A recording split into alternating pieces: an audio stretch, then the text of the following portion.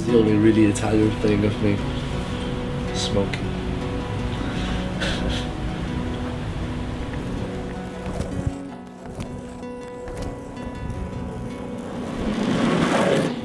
I'm from Milano, Italy. I lived there my first 18 years of my life. I wanted to leave Italy.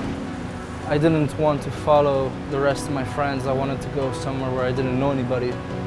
So I pretty much just chose the farthest place that accepted me, uh, which happened to be Miami, which is pretty cool.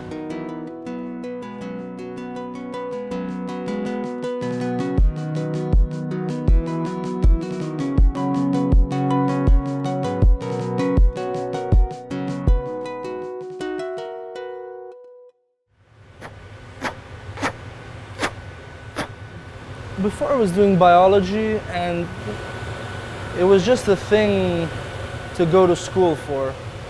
And I ended up getting pretty bad grades in it as well. Now I changed completely to art. I find that I really like it. It's, it's really satisfying to be able to make things with your hands. I just love the idea of something being created in fire. Maybe a little bit of a pyromaniac, just a little bit.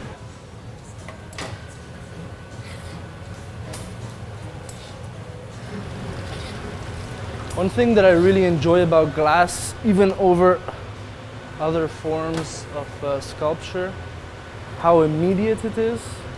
I like the instant gratification and the instant, or the instant failure of glass blowing. You know, it's not really for patient people. I'm a very impatient person.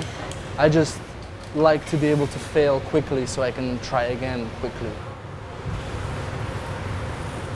So I'm going to try and make a shape now that's commonly known as a floppy bowl, uh, or in Italian fazzoletto, which means a tissue bowl. It has to be well timed.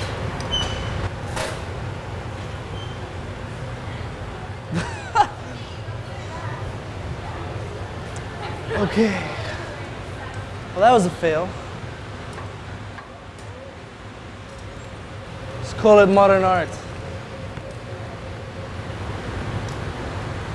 I'm never gonna be able to do this. Oh, open, open, open, open, open.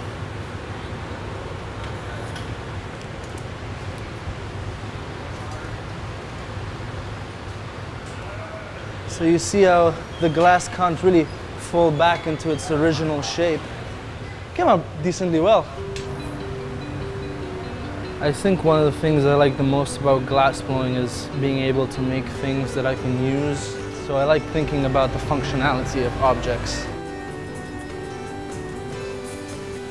It's weird moving from a major where you just have to study a bunch of things to a major where you're making things every day and I feel so much more fulfilled and it's all because I just took one class in glass blowing.